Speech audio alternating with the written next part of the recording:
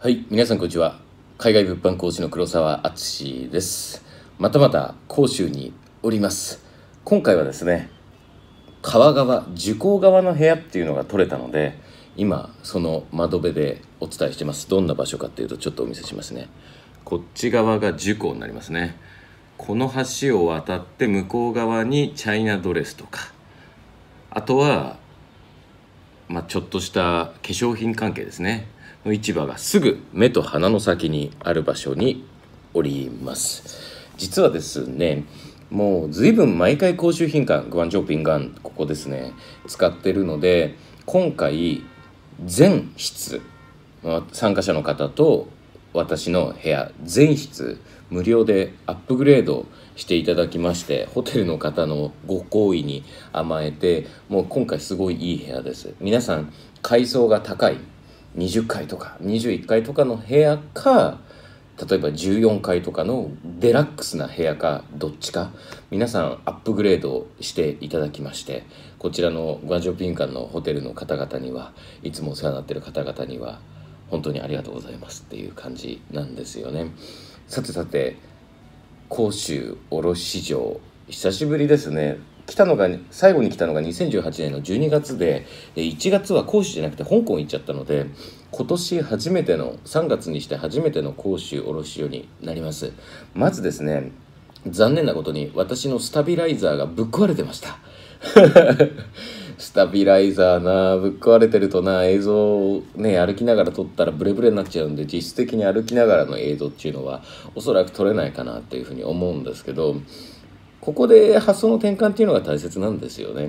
で何かがぶっ壊れたとか何かがうまくいかなかったとか何か失敗しちゃったっていうタイミングってそれをどうネタにして餌にして自分の糧として行動に反映するのか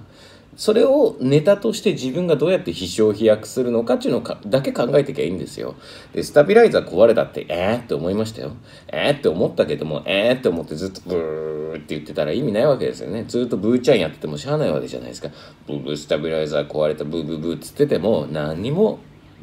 現状って変化しないですよね。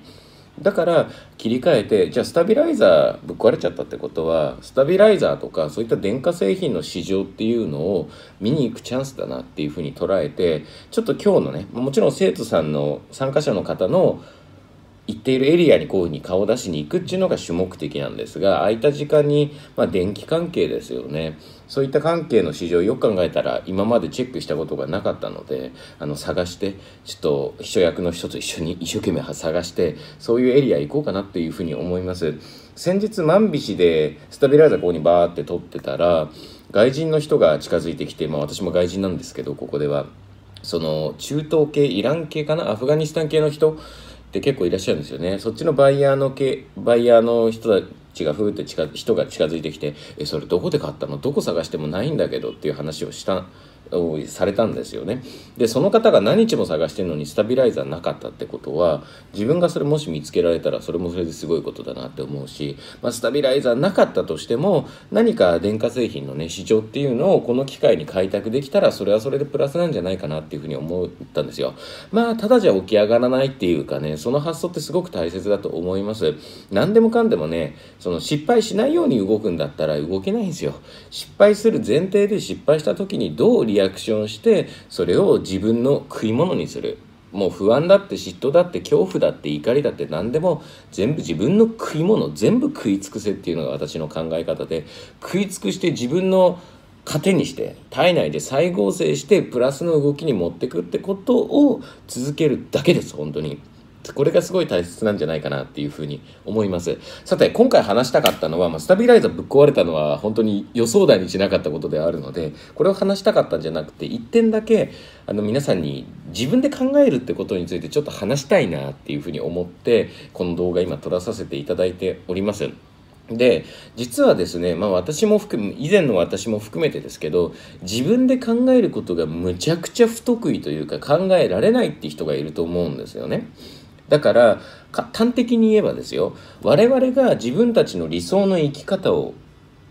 まあ、求める追求するっていうのはよくなんだろうな今の自分じゃない自分になる必要がある種あるわけですよね。例えば考え方とかそのマインド面っていうのをこれ変えていかないと雨が降っても晴れててもいつも悲観的になる人は悲観的になってるし何でも多責にする人は多責になってるし。だから全て自己責任っていう発想とかがものすごく大切になるんですけどそれって根っこを考えてみるとどうなのかなっていうと今の自分がダメな自分で別の自分に変わるってよりは今の自分が周りの人に従って形作られた自分じゃなくてっていうのはおかしいですけど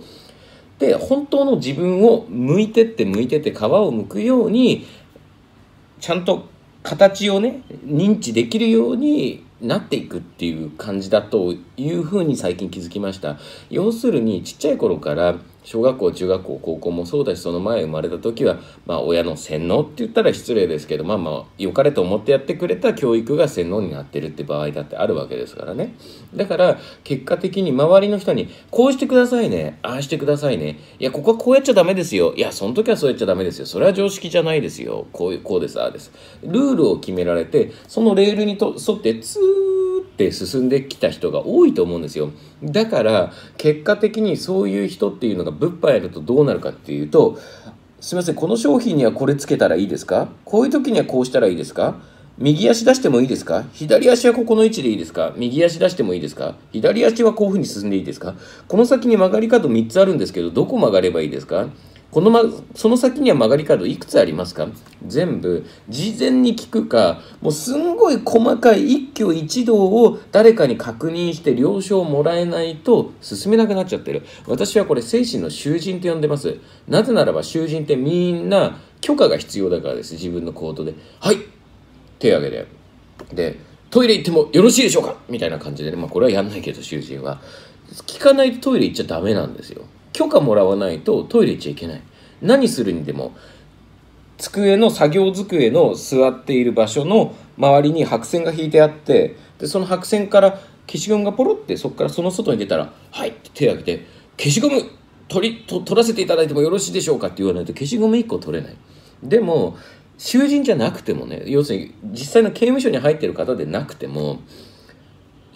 精神の囚人心の囚人になってる人って結構多いと思うんですよねだから何かやるにしろ誰かの許可がないと誰かに確認しないと怖くて怖くて仕方がないって人すっごく多いんですでその状況にいる限り物販で成功するっていうのは難しいですね。正直言うと。なぜならばそれって人に言われたことをただやってるだけなのであればそれは個人事業主というかね社長というか独立独歩物販セラーとして活躍してるわけではなくてやっぱり人の敷いたレール通りに走ってるだけなんですよ。従業員なんですよそれって。そうじゃない生き方をするために物販やってるのに結局その中で何でも人のこと聞かないと全然進めないっていう状況になり得るんですよね。だからこういった状況にある人は以前の自分もそうですけどでその当時のねネットビジネス界の人に毎回聞くなって怒られてハッとしたのが2013年だったんですけど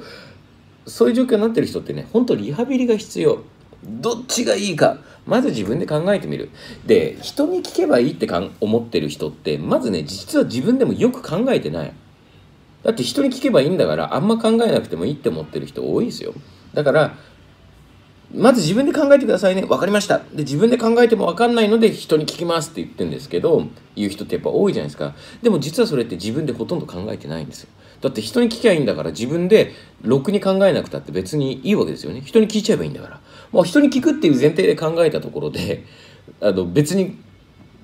しっかり考えなくたって何の遜色もないわけですよね。で人に聞いたらいいっていうのはそれ結局のところ失敗が怖いっていう恐怖心があると思うんですが今回の冒頭にようやくつながってくるんですけれども失敗したうまくいかないことあった予想だにしないことが起こったスタビライザーぶっ壊れた私どうする？講習でみたいな状況になった時に「うんブーブーブーブー」って言ってたって本当に何も変わらない。だからそこで自分がじゃあこれをどうやったらプラスに持っていけるかなっていうのこれ私誰かに聞いて見出す答えじゃないですよ。私自身が自分で自分の中でプラス例えばスタビライザーぶっ壊れたがマイナス80点だとしたらどうやったらそこからプラス120点に持っていけるのかっていうことを考えてって自分の中で納得がいくような行動に表してそして自分自身でまあこういうことあったけどこういけたんだからみたいな。それがちょっとした成功体験にもつながりますよね。っていうことが大切だと思うんです。だから本当に我々っていうのはもう右足出していいですか？左足出していいですか？右足ここでいいですか？左足こっちがいいですか？こっちがいいですか？こっちに置いたらいいですか？3センチ前の方がいいですか？4センチ前の方がいいですか？って聞きながらそうしないと動けない人ってそれぶっちゃけた話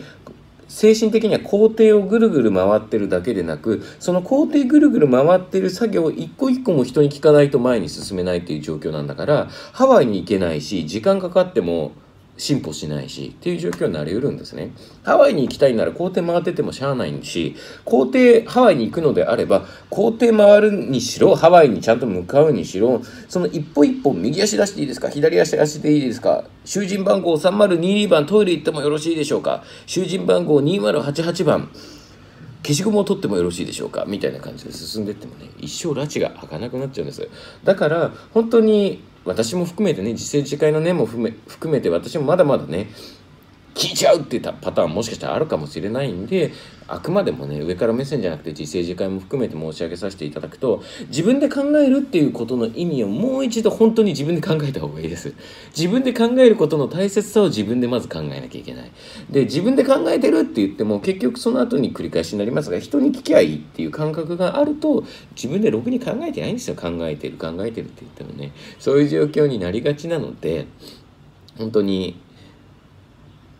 まず自分で終始進んでみるくらいの気持ちで進んでいく必要があるわけですよね。前提条件がまあ別に聞けばいいやっていう前提で動くと、まあ、そうなっちゃいます。結局のところ。サーフィンもそうなんですけど我々って自分が見てるところに進んでいくだけですから人に聞けばいいっていうのを見ながら進んでったら人に聞けばいいっていう方向に行くわけですよ。ろくに考えないで人に聞くっていう方向に行くわけだしサーフィンも人にぶつかりそうだと思って人をじーっと見てると見てる方向にボード進んでいきますから。その時は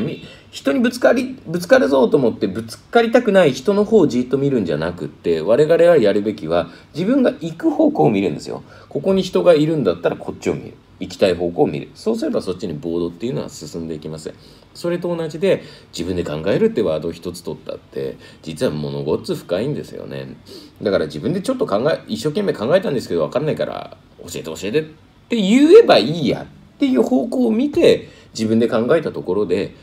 解決絶対しないんですよ。だって人に聞きゃいいっていう方向に向かって進んでるだけだから自分で考えてますって言ってもそっちに進んじゃってるだけだからね。だからその部分っていうのを本当に半数咀嚼咀嚼して咀嚼して咀嚼して咀嚼して咀嚼し尽くしてもし尽くせないほど深いテーマなんじゃないかなって思います。全て自己責任だとか自分で考えるとかその大切さをうん、本当に知る必要がありますよね。だから講師やってるから質問しちゃいけないなんていうことはもうというつもりはないんだけれども自分で本当に考えて本当に本当に自分でアイデア出して分かんなくなって質問しているのか人に聞きゃいいやっていう前提ででも自分で考えたんですよって言ってる人の差異っていうのは講師16年やってればそれは見抜けます。だから